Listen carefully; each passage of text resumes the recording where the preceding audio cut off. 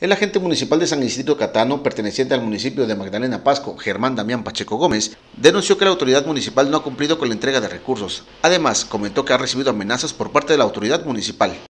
Que me muestre el expediente técnico, que realmente si él va, como él dice que está trabajando con la transparencia, pues que me muestre el expediente técnico, es lo único que yo le estoy pidiendo.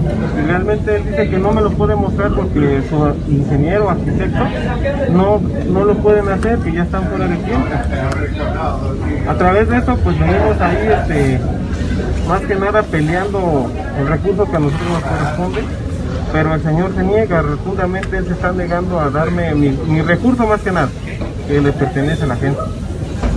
Y otra que él me está ya, este, amenazando, temo por mi vida, por la vida de mi familia, porque realmente pues yo no sé hasta dónde sea capaz él. Recordemos que pues también él tiene un antecedente de un arma de fuego, que también fue en el mes de marzo.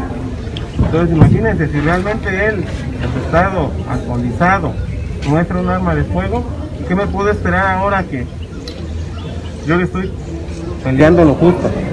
El agente municipal responsabilizó al edil y a la regidora de obras de crearlo sobornal al haberle ofrecido el 10% del valor de una obra. Por estas razones, hizo la denuncia pública ante los medios de comunicación. Que quede claro aquí ante estos medios y yo a él no hago responsable al señor presidente Jesús Santiago Santiago y a su regidora Verónica Cisneros, ya que una vez fui a tener pláticas con él y la señora, la regidora de obras, pues me, me quiso sobornar que si yo quería el 10% de mi obra, pues que realmente ella me lo iba a dar. Pero ¿cómo me va a ofrecer eso si ya no lo tiene? Él fue claro, él me dijo que ya no, ya no lo tiene. Pues. Entonces, ahorita ese es el asunto.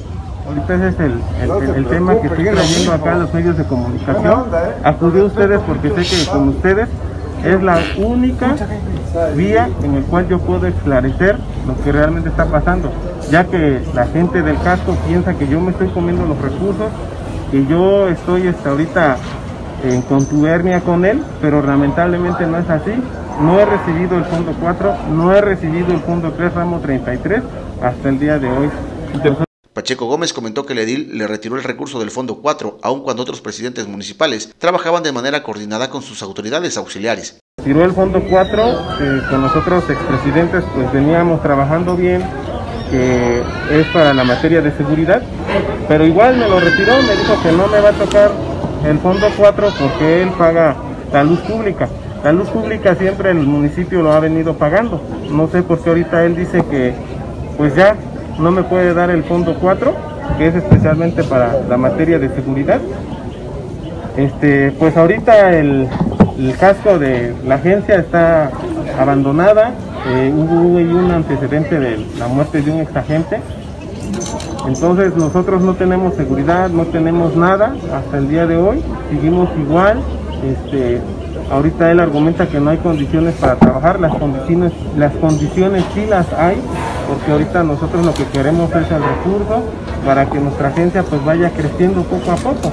Pero lamentablemente pues ahorita esa es el, la disputa que nosotros tenemos como, como agencia y municipio. Con información de Mario Romero para Teus Televisión, Jorge Acevedo.